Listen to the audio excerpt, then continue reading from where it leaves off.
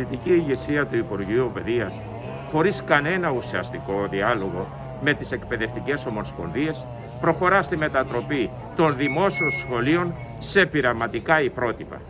Η Διδασκαλική Ομοσπονδία δεν είναι αντίθετη με αυτό το θεσμό, αλλά ούτε καλέστηκε να καταθέσει προτάσεις για τη λειτουργία και τη δομή τους.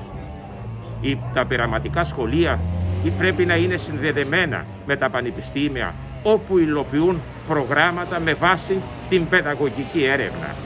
Τα πειραματικά σχολεία θα δημιουργήσουν τεράστια προβλήματα με τον τρόπο που επιδιώκει το Υπουργείο.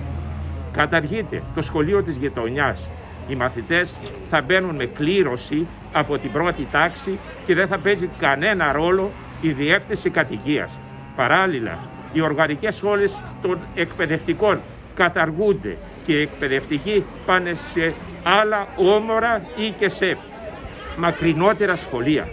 Καλούμε λοιπόν την πολιτική ηγεσία του Υπουργείου Παιδείας, την Περιφερειακή Διεύθυνση Εκπαίδευσης Θεσσαλίας, τη Διεύθυνση Πρωτοβάθμιας Εκπαίδευσης να προχωρήσει σε ανάκληση της πρότασής της, να κάνει ένα ουσιαστικό διάλογο η πολιτική ηγεσία του Υπουργείου Παιδείας και να δούμε αυτό το πολύτιμο θεσμό πώς μπορεί να λειτουργήσει χωρίς να δημιουργεί προβλήματα στην τοπική κοινωνία και στην εκπαιδευτική κοινότητα.